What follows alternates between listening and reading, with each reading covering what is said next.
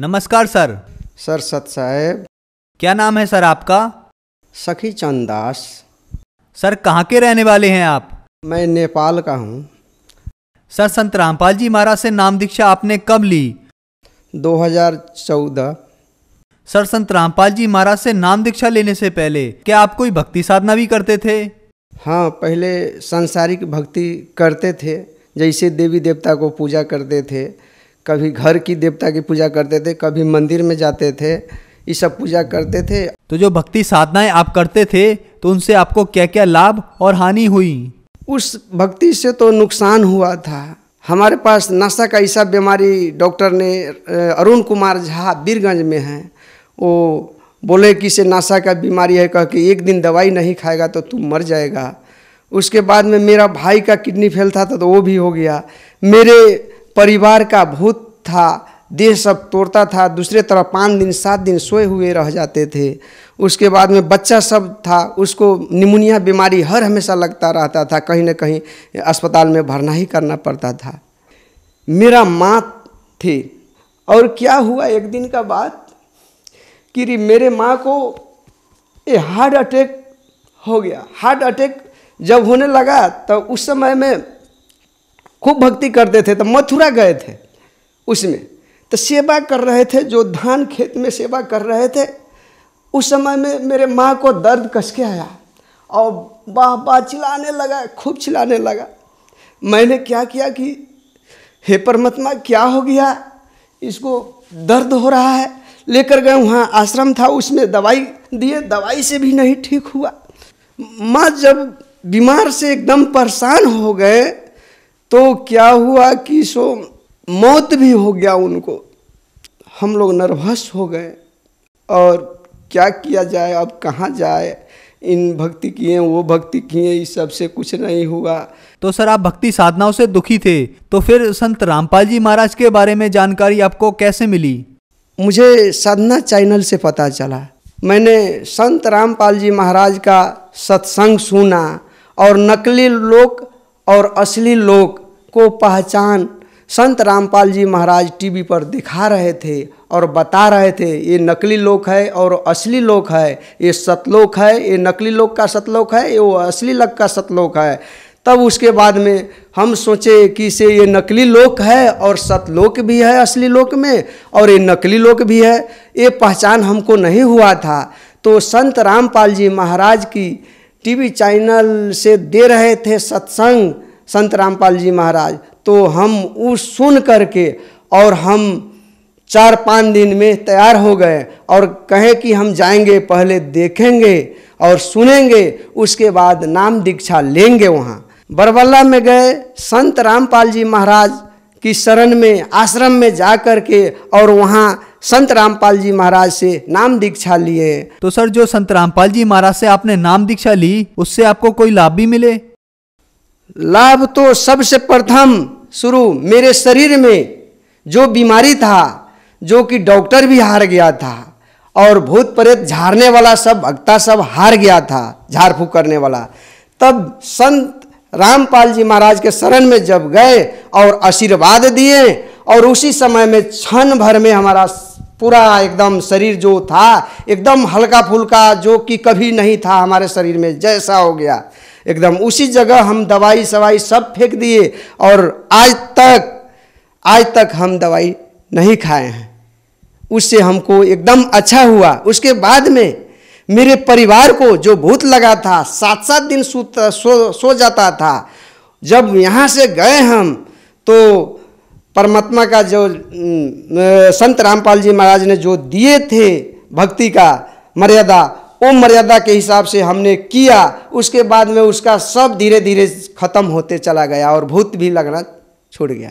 और उसके बाद में भाई का जो किडनी का समस्या था, वो नहीं मान रहे थे। उसके बाद में वो भी जो हमारे जीजा है, वो जाकर बोला कि सब घर परिवार एक साथ भक्ति करेगा परमात्मा को तो उसमें सुख शांति चयन होगा। तो वो भी मान करके खैनी बहुत खाता था। बोलता था कि खैनी नहीं छूटेगा। खैनी भी छोड़ दिया और संत रामपाल जी महाराज के शरण में जा कर के और नाम दीक्षा लिया। उसके बाद में एक दिन का बात है कि मेरे भाई बोल रहा था कि गुरुजी आ कर के घर के सामने और पेट में हाथ लगा कर के और किडनी को सही कर दिया और मेरे भाई बोला कि गुरुदेव मुझे ऐसा बीमारी है परमात्मा, संत रामपाल जी महाराज को बोले कि ऐसा ऐसा होता है, हमको पेट दुखता है, बहुत कष्ट करके दुखता है, कितने दवाई कर लिए ठीक नहीं होता है। तो मालिक, संत रामपाल जी महाराज ने उनको निकाला और उस दिन से आज तक एकदम ठीक है। और मेरे पिताजी का जो चल नहीं रहा था, एकदम घोड़ी से एकदम तीन तीन बरस एकदम अति हो जाता था, दुखता था, एकदम चलने नहीं पाता था।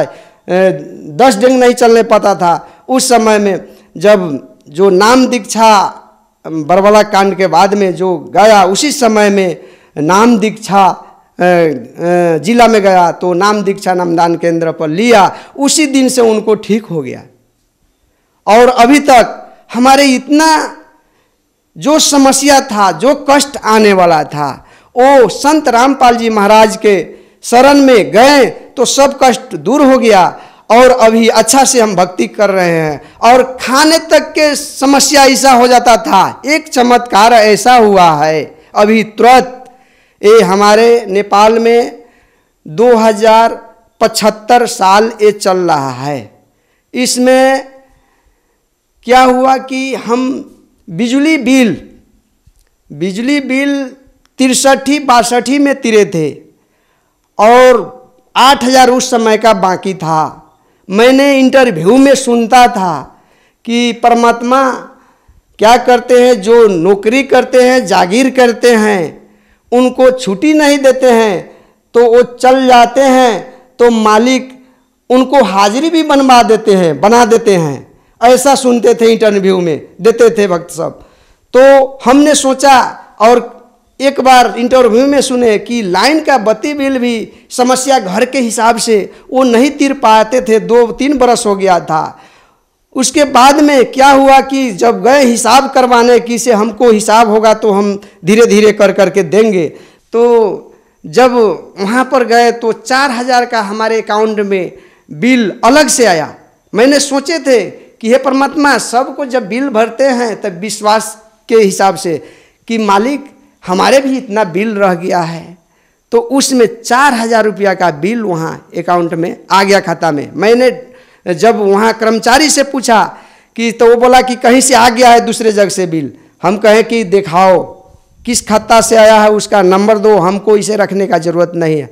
तो बोला कि, खाता का नंबर ही नहीं है, लेकिन इस पचहत्तर साल में आ गया, जो कि हम बावन, बासठ, तिरसठ में तिरे थे, उसमें आठ हज़ार का बिल था।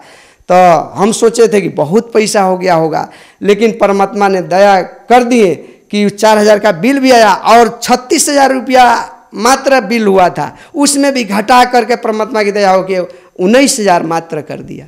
सर संत रामपाल जी महाराज से नाम दीक्षा लेने के बाद आपको बहुत सारे लाभ मिले। तो जो श्रद्धालु आज आपको सुन रहे हैं आप उन्हें क्या संदेश देना चाहेंगे? हम तो अर्जी कर सकते हैं करना तो उन्हीं को है। संत रामपाल जी महाराज ये मानव के रूप में आप देख रहे हैं वो मानव नहीं है परमात्मा है। परमात्मा आए हैं। गीता में भी कहते हैं तत्वदर्शी संत के शरण में जाओ। आज तक वो तत्वदर्शी संत है तो रामपाल जी महाराज है वही है वही परमात्मा के रूप में आए हैं वही संत है और तत्वदर्शी संत है। उनके सामने आकर और दीक्षा प्राप्त कीजिए। धन्यवाद सर। सत साहेब।